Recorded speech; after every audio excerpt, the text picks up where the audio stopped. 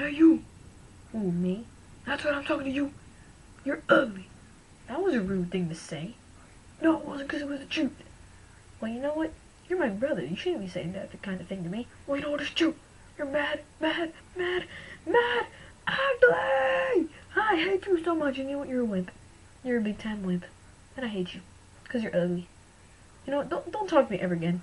And if I save the princess, you're not coming. And you know what? I'm killing your Yoshi. What? Yeah, that's right. That's right. I'm killing your Yoshi. You know what? You're the horrible, mo- mo- most horrible brother I have ever met in my life. Good for you. I hate you. Bye. I hate you so much. That I'm never going to talk to you again, starting right now. Except when I tell you to buy me a pizza. Okay, starting now. Bye.